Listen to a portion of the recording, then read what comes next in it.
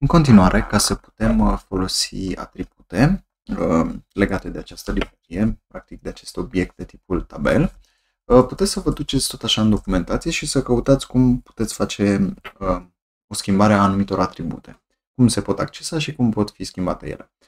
Ca și un mic challenge aici, putem să, aș putea să încercați să schimbați alinierea, da? Deci, în momentul de față, ca să putem să schimbăm alinierea, există un anumit atribut pe care putem să-l accesăm și să schimbăm. Da? Să zicem că am vrea să facem o aliniere a tabelului în stânga. Da? Și observați, dacă vă uitați un pic atent, da, ea este central. Da? V-aș încuraja să puneți o mică pauză la video și să încercați să faceți asta singur, folosindu-vă de documentația librării. Ok, haideți să vedem cum se face chestia asta. Deci, din tabel, da? tot așa dăm punct și ar trebui să avem ceva care să nu fie cu M, da? pentru că asta înseamnă că este o metodă, da? ar trebui să fie, trebuie să fie ceva cu F, da? ca o funcționalitate. Da? Și avem aici align. Da? Și dacă vă uitați aici, nu mai, uh, nu mai avem parantezele rotunde, pentru că asta înseamnă că este un atribut, da? Și aici putem să-i schimbăm, da? Aici putem să-i dăm o anumită valoare. Dar înainte de asta, haideți să afișăm un pic acest uh, tabel.align.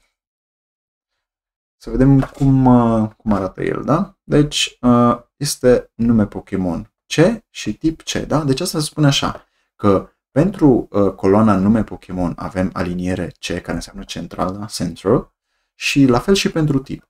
Și ca să facem alinierea la stânga, va trebui să modificăm valoarea acelui atribut. Da? Deci atribut tabel.align egal cu, dacă vrem să o punem la stânga, trebuie să punem L, da? care în engleză înseamnă left.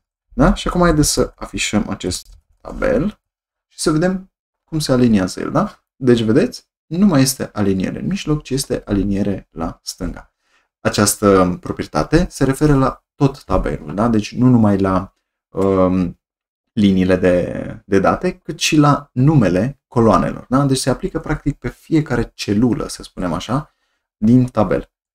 Și astfel, ca și o concluzie, um, tot așa, pentru programarea orientată obiect am reușit să folosim această librărie, da, Pretty uh, Table, care avea uh, un, uh, o clasă numită tot Pretty Table. Am creat un obiect, am reușit să folosim câteva metode, da, deci una din ele a fost uh, add column și am, am reușit să folosim și o proprietate, da, uh, ca să putem să o schimbăm și să modificăm un pic uh, atât ce se întâmplă cu tabelul, da, deci acțiuni asupra tabelului, dar și um, chestiuni legate de atribute, da? Deci ce reprezintă tabelul respectiv, adică alinierea, nu știu, poate și uh, dimensiunea fontului și așa mai departe, chestiuni care țin de atributele tabelului respectiv, da? Și acum, în continuare, uh, o să urmeze să facem și un proiect care să uh, vă ajute un pic să înțelegeți și să stăpâniți din ce în ce mai bine artele programării orientate obiect.